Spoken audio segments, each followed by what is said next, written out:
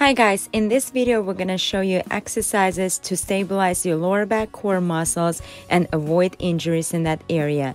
And we're to start with all-time favorite plank. Make sure your elbows are underneath your shoulders and your hands are not touching, feet together and your spine is neutral. You may challenge yourself and lift one foot off the ground. Just make sure you don't lift your glutes higher. Stay neutral. Don't hold your breath. Hold this for 60 seconds.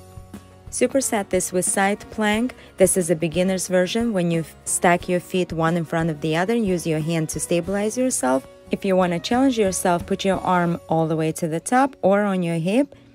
Please don't roll your hips forward. This is the wrong version. You do want to make sure you're directly on the side and arch your obliques as high as you can. A little more advanced version, when you stack your feet on top of each other, hold side plank for 3 sets of 60 seconds each side. Superset this with another great lower back core exercise and a stabilizer, bird dogs. You want to stretch your body out as far as you can. Use the opposite arm. If you're using left leg, then use the right arm.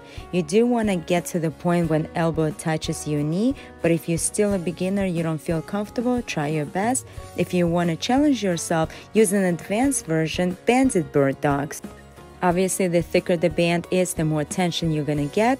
This is not the version where elbow will touch the knee because the band is to get too loose. Exhale when you stretch the body out and do this for 25 reps on each side for 3 sets total. Bird dogs are definitely one of the best exercises to relieve lower back pain. If you find this video helpful so far, please like, comment, and subscribe to this channel. Another great lower back stabilizer and rehab exercise is Superman, but we're going to divide it in three different parts.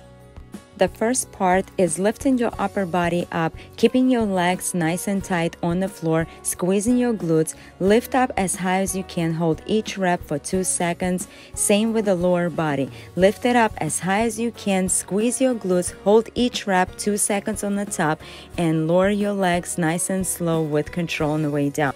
And the last portion of the exercise to lift your upper and lower body simultaneously as high as you can. Squeeze your glutes, hold it on top for two seconds each rep, and control on the way down. Exhale on the very top. And the last great core stabilizer exercise is the banded hold. You probably have seen this in boxing or kickboxing gyms. You want to make sure you don't stand too far in front of the band or too far behind the band. You want to make sure when you pull the band, it's right in front of you. The hand that is closest to the band is the one that grabs it. Keep your arms straight right in front of your chest. Squeeze your tummy, brace your core, keep your glutes tight, and make sure you're breathing. Do not hold your breath. Hold it for at least 30 seconds. The thicker the band is, the more tension you're going to feel. Start with the red one, it's only 30 pound tension, and as you get stronger, you can move up to the thicker bands. Thank you so much for watching this tutorial video. We appreciate all your support. We hope this video helps with your lower back pains. Please comment, subscribe, and ring the bell for notifications. We love you guys.